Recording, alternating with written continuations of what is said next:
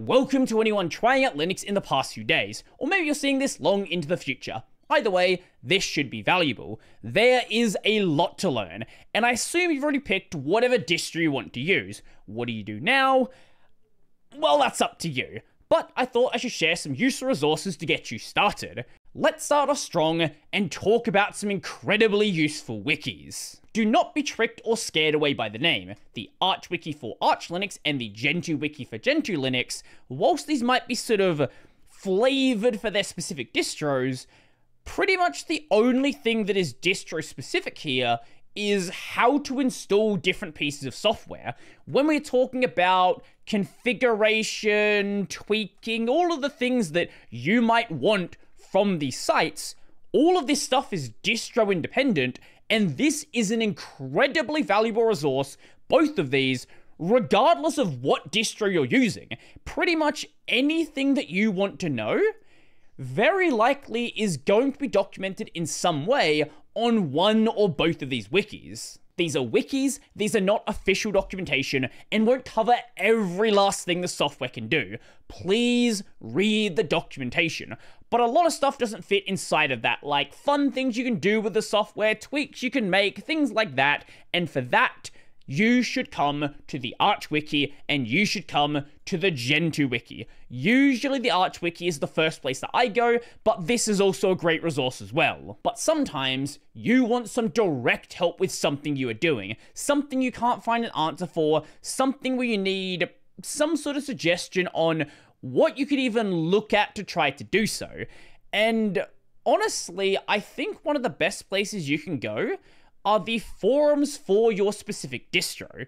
For something like Ubuntu, that is going to be the discourse.ubuntu.com, the community hub, when it decides it wants to load. For Fedora, that is going to be the Fedora discussion, and Arch Linux, that is going to be bbs.archlinux.org. Pretty much every distro you go to is going to have its own forum. Now, in the case of Ubuntu, I should also mention there is Ask Ubuntu over on Stack Exchange as well. Do note, for the popular distros like the ones mentioned here, the forums will be quite active. At the same time, usually the forums are for users of that distro. If you go to the Arch forums and have questions about Manjaro or SteamOS or Garuda, it depends on the forum, but especially on the Arch forum, you are going to be laughed at. So go to the forums for your specific distro. When you use Linux, you're very quickly going to come across the term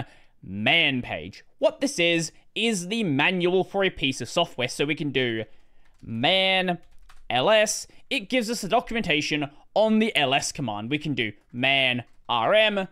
There you go.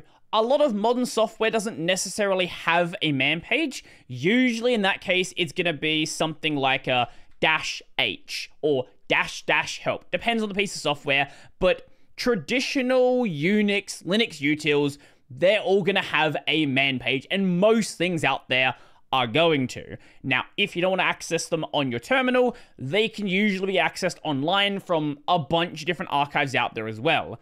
However, this is just the manual, and much like the Arch Wiki, sometimes you want more tips and tricks and fun things you can do. In that case, I highly recommend TLDR. This is basically a community collection of cheat sheets for tons and tons of software. Things like tar, not just core utils though, tons of software. Most popular things are going to have a TLDR page. And if you think of something fun you can do with a piece of software, they're usually going to accept some sort of suggestion. Again, it does not replace the man page. RTFM, read the effing manual, is a very important phrase in the Linux world. You are going to hear it quite often, especially if you ask something that is very well documented. And you might think people are being mean, and some of them are. At the end of the day, though, you need to learn how to read documentation or you are not going to get very far. However, tools like this are very useful to work out how to do more complex things than just, oh, here is the basic thing in the documentation. it'll tell you ways you can combine these to do useful things. Now, if you're interested in learning how to use Linux, Frankly, there are countless channels out there, and I could spend all day just listing out channels that I think have some sort of value. But most channels tend to have some sort of niche they focus on. If you want a good general channel for just general Linux things, I highly recommend Learn Linux TV. Now, a lot of his videos are the kind of videos that I make as well, but if we go over to the playlist section, we have these giant playlists like Bash scripting on Linux, like uh, various tutorials on Python programming, which is less Linuxy, but still important if you want to write scripts. But the Linux Crash Course. This is 80 videos long on just generally how to use Linux. I put it myself over there. Pretty much every basic thing you want to know is going to be documented here. And then there is another one. We have the full guide section. This includes guides on a bunch of random things, some of them quite simple, like, you know, basic Linux distro things, things like SSH. But they also get more complex, like there's someone here about Kubernetes and a bunch of other things honestly a great general channel just to get your basics for everything.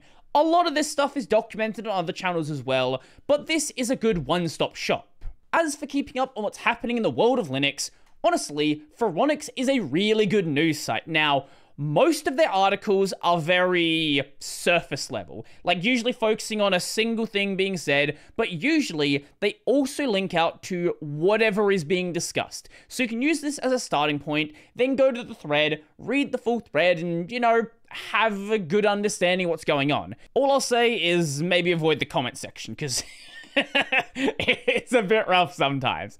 If you prefer more well produced articles, It's Foss is also a really good website.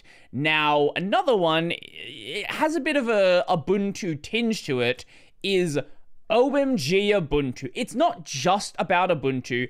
It will talk about Ubuntu, new releases, things like that, but there's also just a lot of general Linux stuff on here as well. Another great site, this one more focused on the gaming side, this is Gaming on Linux a lot of it is going to be mostly stuff about games that work on Linux, how well they work, things like that. But if you like that sort of thing, this is great as well. Another great place to check is the Linux Experiment. He does these daily recaps Linux news, weekly stuff. It's really good content. Highly, highly recommend it. Now, a lot of the stuff, the daily stuff, is behind members only, but the longer form weekly stuff that is available just generally. I don't really know why he does members only. Um, I might have to ask him about it. Also, uh, there is uh, this channel as well. So if you want to just see more long form coverage of individual topics, here you go. Check out the channel you're on right now. Since I mentioned gaming, I absolutely have to talk about ProtonDB. You may know about Proton. This is the tool that Valve uses with Steam to play Windows games on Linux. ProtonDB is a database of basically whether or not games work. And if games do work, what you need to do to make them work better. If they don't work, if there's a way to make them work, different versions of Proton you might want to run, different distros that people are using, software versions, hardware, NVIDIA, AMD GPUs, basically everything you could possibly want to know to play games on Linux. I do not buy a game without going to this website. This also splits it up into PC, Steam Deck, and even Chrome OS. Obviously, Chrome OS, not many people play on Chrome OS. Mainly things are PC and Steam Deck. These are separate things because sometimes things are a bit different between the two.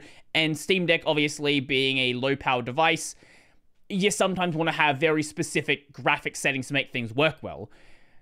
This is a phenomenal resource. It is very active, it is very frequently updated, basically, if a game is remotely popular, if anybody cares to play it on Linux, usually the day it comes out, there is going to be at least one report. Expedition 33 is very popular, so usually there are multiple people talking about it every single day. And even if it is known to be working, people keep talking about their experience with it.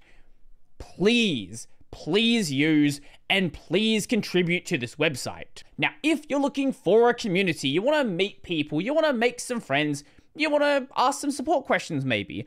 I honestly wasn't aware of this until very recently. I asked some questions and their moderators started shilling it to me. I checked it out and it's actually really, really good. I highly recommend going and looking at all things Linux. Now, they also have a wiki. The wiki right now is quite a bit more bare bones than what the Arch wiki has. It is coming together, but as you can see, there's some placeholder pages still. However, they also have a Discord, and the Discord is incredibly active. There is a lot of people there. They have a great community, and frankly, I can't say anything better about them. So hopefully you learnt something productive here. I know for my regular viewers, you probably know about all of this stuff already, and there's nothing really of value here. But for anyone new to Linux, hopefully you found some resources that can help you navigate this world of Linux. And look, there might be some people out there that are trying to be gatekeepy, don't like the fact that you might have come from PewDiePie's audience, but frankly, there is plenty of people here that welcome you. I love the fact that more people are going to be using Linux. Please encourage your friends to do so if you like it. And um, yeah, Windows 10 goes EOL in a couple of months. So if you can convince them to do it because of that and they don't like Windows 11, that would be great. So if you like the video, go like the video. If you really like the video and you want to become one of these amazing people over here, check out the Patreon, Scribe, Sally Pay link in the description down below. That's going to be it for me, and welcome, everyone.